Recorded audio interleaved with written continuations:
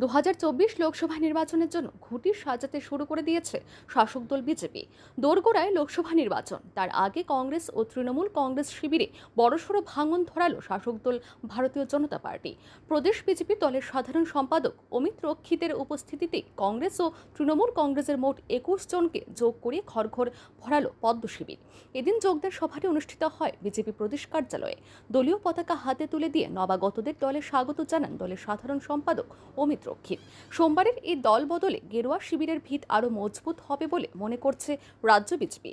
লোকসভা নির্বাচন যতই এগোবে দল বদলে প্রবণতাও বাড়বে বলেও মনে করছে রাজনৈতিক মহল। ইতিমধ্যে বুথ স্তরে সংগঠন মজবুত করার বার্তা দেওয়া হয়েছে বিজেপি নেতৃত্বের তরফে। নবাগতদের দলে স্বাগত জানিয়ে বিজেপি প্রদেশ সম্পাদক অমিত রক্ষিত বলেন, কিছুদিন পূর্বে বিজেপিতে যোগদান করেছিলেন তৃণমূল কংগ্রেস থেকে ত্রিপুরার প্রথম মুখ্যমন্ত্রী শচীন্দ্র লাল সিংহের ছেলে আশিস লাল সিংহ এবং কংগ্রেস থেকে প্রশান্ত ভট্টাচার্য বিজেপিতে যোগদান করেছিলেন। ওনাদের সঙ্গে যারা দীর্ঘদিন ধরে রাজনীতি করছেন, ওনাদের প্রচেষ্টায় তারাও আজ আস্তে আস্তে রাজ্যের বিভিন্ন প্রান্ত থেকে ভারতীয় জনতা পার্টিতে সামিল হচ্ছেন।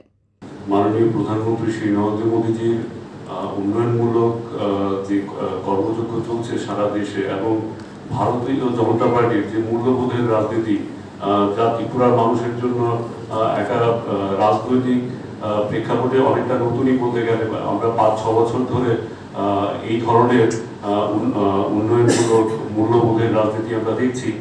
ত্রিপুরা দেখতে দেখতে দেশের বাকি রাজ্যগুলোর মতোই অগ্রগতির দিকে এগিয়ে যাচ্ছে। এবং তা দেখে আপনারা জানেন, কিছুদিন আগে আপনারা সবাই চেনেন শ্রী আশিস লাল সিংহ এবং শ্রী প্রশান্ত ভট্টাচার্য আমাদের দলে যোগদান করেছিলেন, ভারতীয় জনতা পার্টি পতাকা হাতে নিয়েছিলেন। ওনাদের সঙ্গে, মূলত ওনাদের প্রচেষ্টায় ওনাদের সঙ্গে দীর্ঘদিন যারা রাজনীতি করে করে গেছেন ওনাদের প্রচেষ্টায় ওনাদের চেষ্টায় এনারাও আস্তে আস্তে আমাদের দলে এসে যোগদান করছেন।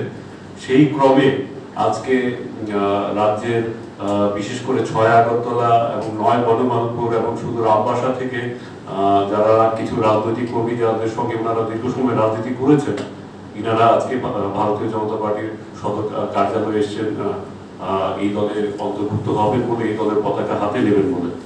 আমি একে একে সেই সব রাজনৈতিক কর্মীদের নাম বলছি, যিনারা আজকে ভারতীয় জন- জনতা পার্টিতে যোগদান করবেন। দেশ জুড়ে প্রধানমন্ত্রী নরেন্দ্র মোদীর উন্নয়নের কর্মযজ্ঞে সামিল হতে ভোটাররা দলে দলে বিজেপিতে যোগদান করছেন বলে রাজনৈতিক মহলের অভিমত। ব্যুরো রিপোর্ট, আর ই নিউজ।